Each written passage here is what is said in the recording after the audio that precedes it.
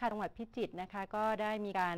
มีวิทยากรจิตอาสา 904 ให้ความรู้ความเข้าใจในเรื่องของปฏิบัติงาน ด้านการป้องกัน แล้วก็บรรเทาสาธารณภัย ในระดับพื้นที่แก่ชุดปฏิบัติการจิตอาสาภัยพิบัติประจำองค์กรปกครองส่วนท้องถิ่นค่ะ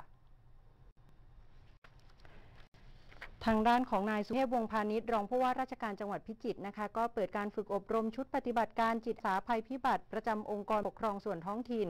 ขององค์กร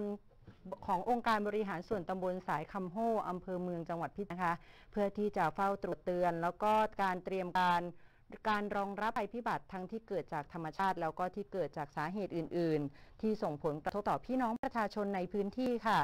และก็จะมีการในเรื่องของอดูแลในเรื่องของภัยพิบัติทางธรรมชาติที่เกิดขึ้นจากสาเหตุอื่น ๆ ด้วยนะคะว่าจะเป็นในเรื่องของการ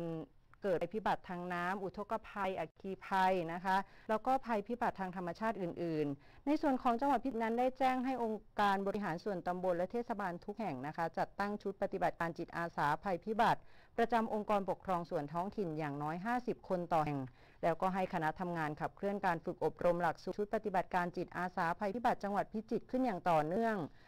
องค์การบริหารส่วนตำบลสายคำโฮนะคะ จึงได้จัดการฝึกอบรมชุดปฏิบัติการจิตอาสาภัยพิบัติประจำองค์กรปกครองส่วนท้องถิ่นขึ้น โดยกำหนดการฝึกอบรมในช่วงของวันที่ 15 ถึง 17 กุมภาพันธ์ 2563 เพื่อเสริมสร้างศักยภาพและก็ความเข้มแข็งให้บุคลากรที่สามารถปฏิบัติหน้าที่ช่วยเหลือเจ้าพนักงาน ในการป้องกันและบรรเทาสาธารณภัย แล้วก็เป็นการเสริมสร้างความรู้ด้านการจัดการ สาธารณภัยเบื้องต้น ระบบบัญชาการเหตุการณ์ การควบคุมสั่งการ การบริหารจัดการสาธารณภัยในพื้นที่เกิดเหตุ เพื่อสนับสนุนให้โครงการจิตอาสาพระราชทานในระดับพื้นที่ มีความเข้มแข็ง แล้วก็มีทักษะความรู้ความชำนาญในการจัดการภัยพิบัติ อาจจะส่งผลต่อพี่น้องประชาชนในชุมชนนะคะ ให้มีความปลอดภัยในชีวิตและทรัพย์สิน ซึ่งมีจิตอาสาภัยพิบัติในพื้นที่ขององค์การบริหารส่วนตำบลสายคำโฮเข้ารับการฝึกอบรมในครั้งนี้ รวมทั้งสิ้นจำนวน 55 คนด้วยกันค่ะ